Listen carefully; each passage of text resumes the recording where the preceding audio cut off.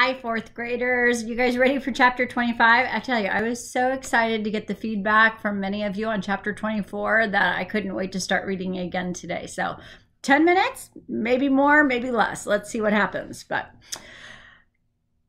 Pablo and Birdy, chapter 25. On the television screen at Pierre's the next day, Darren Mandible was so excited at what he termed the high probability of the winds of change that he could not stop smiling. He was wearing what Lula referred to as his disco pants because they were white and stretchy. That was a good thing because when Darren was excited about the weather, he almost danced around the weather map. He, his pointer would sweep from side to side on the map, and every sentence ended with an exclamation mark. Exciting new wind developments just offshore of the picturesque island town of Isla. Darren placed a wind magnet right over Isla on his weather map. Smack! Then turned back to the camera and did a little hop. For the first time since I can recall, weatherhounds, the Isla winds and are beginning to blow, not on shore, but away, away, which can pretend only one thing. Guess who else wants to listen to the story? Hi, Cooper. Mwah. Let's see if he behaves. He stabbed the pointer toward the camera and nodded furiously. His pointing ponytail flapped back and forth. Winds of change! Fortune lost, fortune gained. I have yet to see a fortune of any kind, said Lula, let alone lose one. And here is my colleague, Elmira Toledo, with the latest. Elmira? Elmira was dressed in a sky blue trench coat today, her purple glasses dangling from her non microphone fingers. Darren, said Elmira, exciting developments to be sure. Who among us isn't interested in the existence of the seafarer? A few of us, said Lula. More than a few of us, said Pierre. The camera cut from Elmira to a white laboratory where a large cage was set up in the corner. Scientific looking people, and lots of them, stood there. Um, they were holding clipboards, and they were unsmiling. The camera cut back to Elmira, who was also unsmiling. Then again, Elmira was always unsmiling. I'm going to let you guys watch Cooper because that's what I'm kind of getting distracted by. Let's see if Cooper's going to be. Nope. Cooper, are you going to leave? All right. Back to reading the story. Cooper's going to go find something else to do for entertainment. Okay, so the unsmiling part. The camera cut back to Elmira. Then again, Elmira. Unsmiling? Proactive? Preparation on the part of our panel experts from the avian scientific community, this has resulted in a new laboratory, she said, created with the express purpose of studying our seafaring parrot. Once a specimen is available for research, we must find it. The experts themselves, interviewed in turn, were divided on the existence of the seafaring parrot, given that the legend had held sway over the public mind for a very long time. That fact alone raised suspicions in the minds of some of the scientists.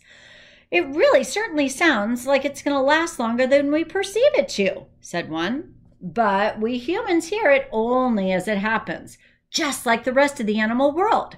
Why would just one bird out of thousands of bird species in the world be able to hear all sounds at any time?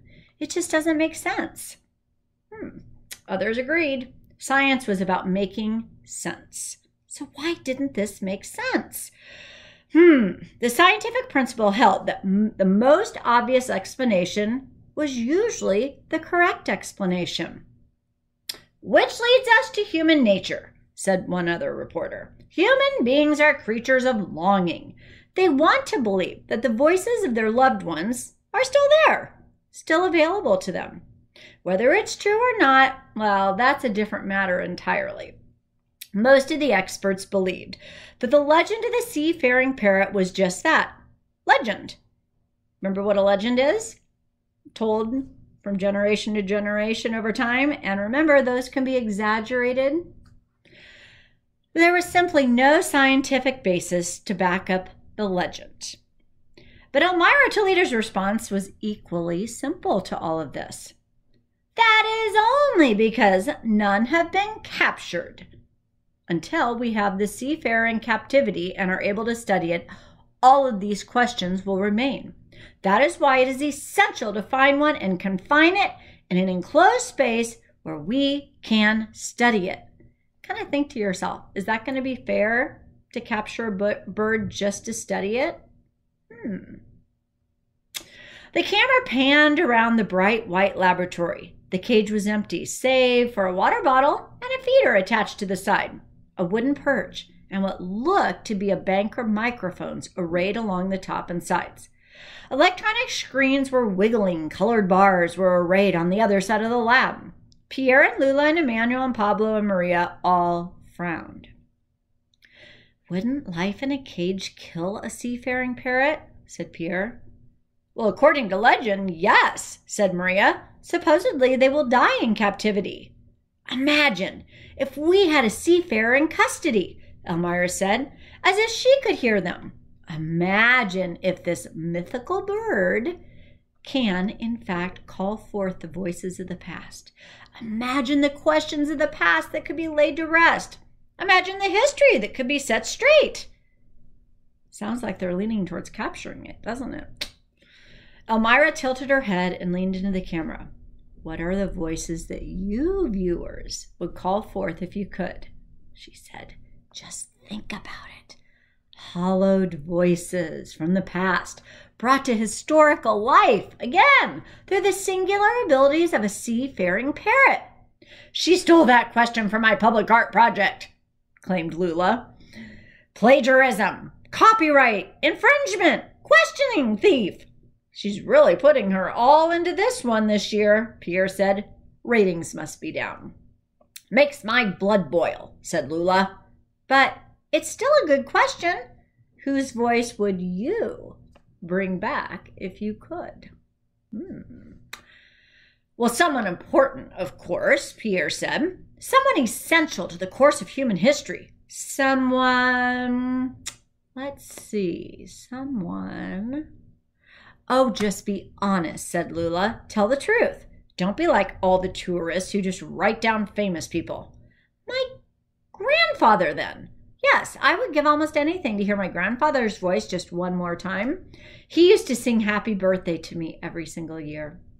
Pierre's looked ve- eyes looked very bright. Good choice, said Lula.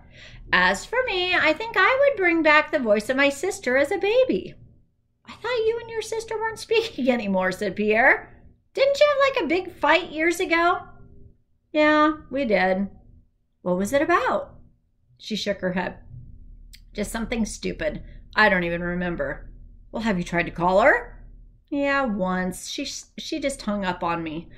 But sometimes I think about her, the way we were when we were little, how she would laugh and laugh. Pablo looked over at Birdy again. She was standing on a chair, pecking at a plate of chopped mango. She didn't meet his eyes. She appeared to be completely focused on the mango. But Pablo was pretty sure she hadn't missed a single word of the entire conversation. How about you, Emmanuel? Lula said. Whose voice would you bring back? Emmanuel looked down at his hands, then over at Pablo. His eyes were very dark and sad. Can you predict who he's thinking about? Come on, said Pierre, tell us. But Emmanuel just shook his head. And nobody asked Pablo. Now I can hear you thinking, no, don't stop reading. You guys always do that to me, right? Chapter 26. I'll read just a wee bit more. Down on the floor, Peaches and Sugar Baby were fighting over the same shred of coconut. Rhodey had lost interest and wandered back outside while Mr. Chuckles was laughing quietly to himself. Ha ha ha ha! Back in the corner. Maria had left to open the clinic. Two overheated tourists sat at a table in the back, fanning themselves with their plastic fold up seafarer fans and bickering about how to spend the rest of the day. Just then, there came a commotion outside the bakery. The skittering of paws on the sidewalk, the flashing of a lopsided tail, and the dog. the dog tore in, followed by Rhodey in hot pursuit. Oh, not again, shouted Pierre as the dog raced behind the counter, leapt up, and snatched another elephant ear. I forbid this. Drop that pastry. Cock-a-doodle-doo! Ha ha ha ha! Holy crap, said Lula. That dog just never gives up. The dog had made it halfway back to the door, crumbs spewing from his mouth, lopsided tail waving wildly, when a voice, a man's voice, began shouting. Do you feel like the author's doing a good time, good job of showing how everybody feels? So the man shouting says, You despicable creature, you ugly, no good dog. Instantly, the dog skidded to a near halt and lowered himself onto his belly. He began to crawl toward the door. Fear rose from every trembling inch of the dog. And then the voice thundered down again Worthless mutt! The dog's eyes rolled with fear. Pablo's heart pounded in his chest. He looked around for the man, the awful man who must belong to the awful voice. Where's the voice coming from? There was no one in the bakery but Pablo and Lula and Pierre and Emmanuel. Oh, and the bickering tourists. And they all were staring at Birdy, who was standing on the chair with her wings raised. It's okay, Pablo said. It's okay. He knelt on the floor next to the dog, who was still on his belly, still trembling. There was silence behind them. Pablo was afraid to turn his head. He put one hand on the dog's side to soothe him. Sharp ribs felt as if they were poking right through the dog's long matted fur. Poor guy, said Pablo. Pobrecito, said a woman's voice. Oh. And at that, I am going to stop. Look who came back to join us. Say hello, Cooper. I think Cooper is enjoying the story, but I will check back with you guys in the middle of chapter 26 tomorrow. Have a good afternoon. Bye.